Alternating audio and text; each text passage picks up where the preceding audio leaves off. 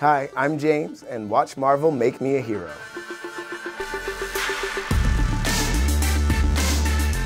I'm an actor, writer, and producer.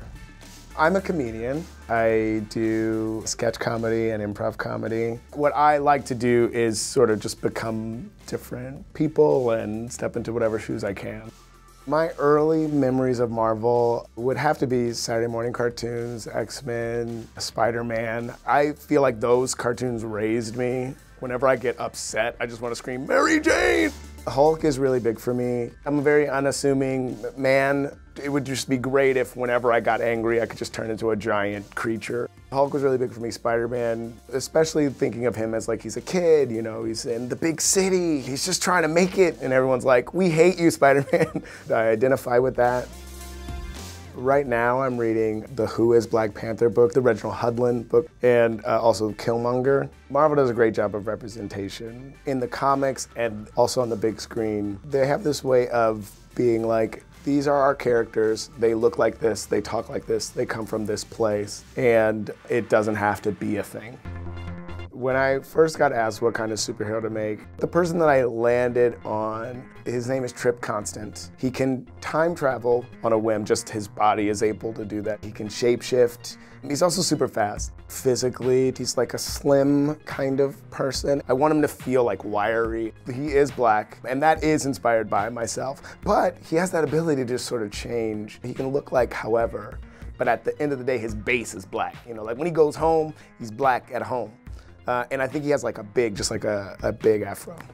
He can shapeshift on command, but also like from outside inspiration. So like if he's watching TV, he might like just shift suddenly and he's the character on the TV. I picture he has like a spandexy, movable, breathable suit that is black and purple and it's lined with gold, gold accents. He definitely has goggles. When you're moving at quick speeds or when you're traveling through time, you gotta protect your eyes. Eye protection is very important. Definitely has a headband, and his fro probably, you know, is popping out over the headband. He has some wrist tech. You know, he does all of his computing on that. Also, I feel like he's covered in clocks, just there are clocks everywhere. So the thing about Trip Constant and his time travel abilities is he is trying to fight for truth and to save people, but also he's gonna do what he wants to do. You know, he's gonna see the opening of Star Wars in 1977 in person. He also has the ability to bring things across to different timelines, like a brand new brick that's supposed to go on the pyramid. He just has that. He's chilling with Billie Holiday, he doesn't abide by a set schedule. And if he misses something, he can just, just rewind it and let it happen again.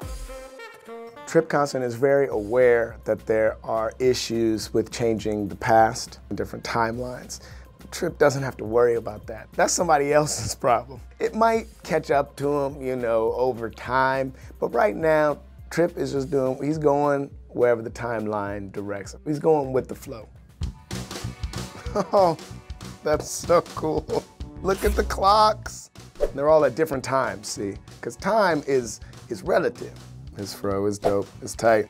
Is that a rock? His ability to isolate the shape-shifting is next level. The goggles look dope.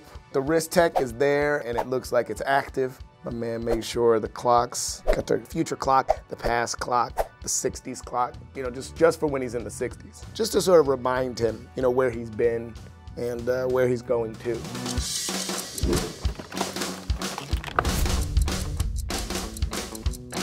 Thanks, Marvel, for making me a hero.